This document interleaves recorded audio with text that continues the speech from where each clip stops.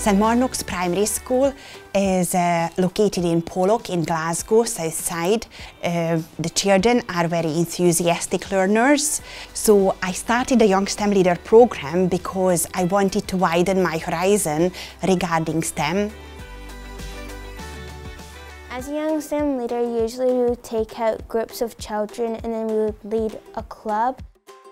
My favourite thing about STEM is I think it would be working in a team because you can make a lot of new friends.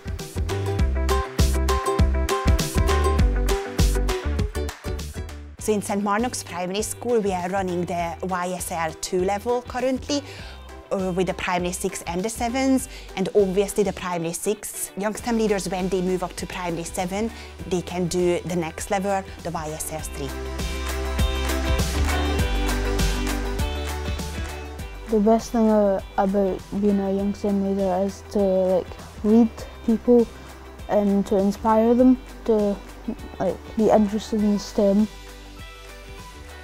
The best thing that I've done as a young STEM leader is interviewing Catherine Gemmell. She's a marine conservationist and a STEM ambassador, um, and I learned a lot from her. Definitely as being a young STEM leader has been my leadership and confidence it's been going up a lot. STEM is really fun because it can help you to get, when you get older, it can help you to get a better job and you can inspire people to develop a lot of skills. I think the best thing that I've did of being a young STEM leader was joining it I don't regret that at all. I've been enjoying it since I started it.